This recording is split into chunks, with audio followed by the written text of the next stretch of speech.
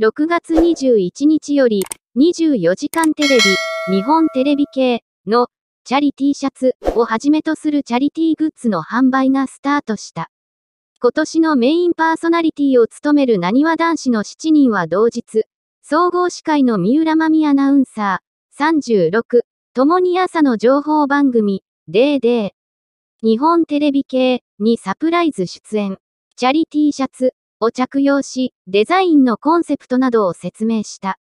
さらに日テレタワー内の特設会場でなにわ男子が店員として立ち、購入者にチャリ T シャツを手渡しするというファンには嬉しいサプライズ演出もあったんです。しかし、これが賛否を呼んでいるんです。ワイドショー関係者、ツイッターには、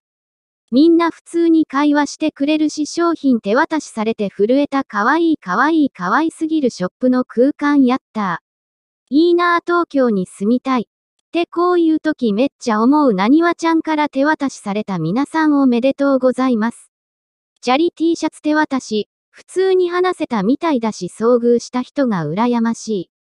といった歓喜の声や羨望の声が上がっている。一方で、チャリティー手渡しで会えた人ラッキーだったねって言えない私の心が狭いのねわら。チャリティー手渡しって、ツアー全滅の地方民には傷口をさらにえぐられた気分だよ。今日その場に足を運んで並べる人と、地方に住んでる、ネットでしか買えない人貢献したい気持ちは一緒のはずやのにそういうとこに差をつける意味がわからん。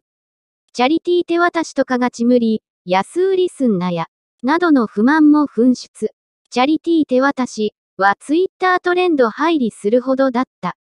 コロナ禍前には、チャリティーシャツの手渡し会が行われることもありましたが、事前に告知されていました。ところが今回はなにわ男子が、デーデーに事前告知なしで出演し、さらに店頭に立ったわけです。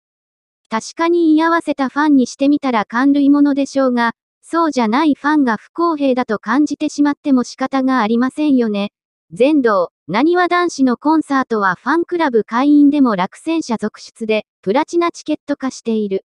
こういった手渡し会をやるのであれば、ファンクラブ会員を優先してほしい。全国でも開催してほしい。というのが参加できなかったファンの心境でしょう。安売りすんなや、という声もありましたが、超一流のジャニーズアイドルであるなにわ男子に、地下アイドルのようなことをやってほしくないということですよね。加えて、ジャニー北川氏、去年87の加害問題も全く収束する気配はなく、24時間テレビにも強い逆風が吹いています。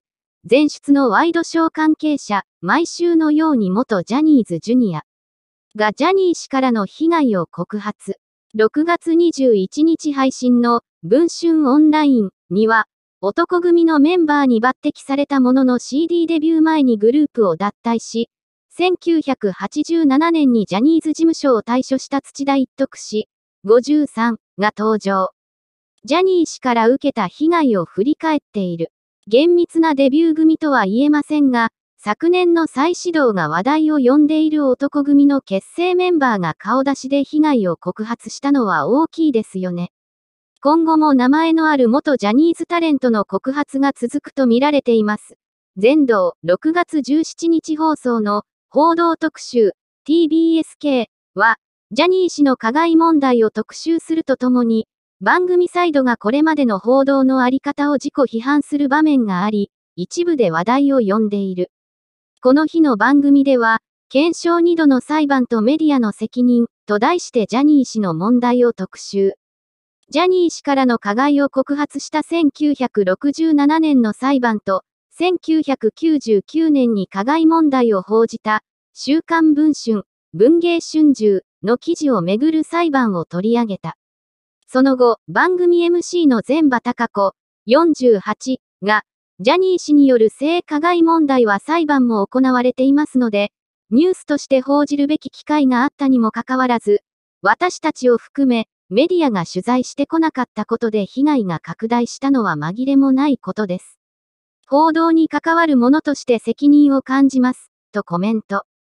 進行役の村瀬健介記者も、私たちがこの問題を取り上げてこなかった理由の一つは、テレビ局の様々な部署がジャニーズ事務所と深い関係を持っていることがあったと思います。と説明し、私たちはジャニーズ事務所の問題の他にも、今報じるべき問題を見逃したり、忖度したりしていることがないか、改めて考えていく必要があると思います、と語った。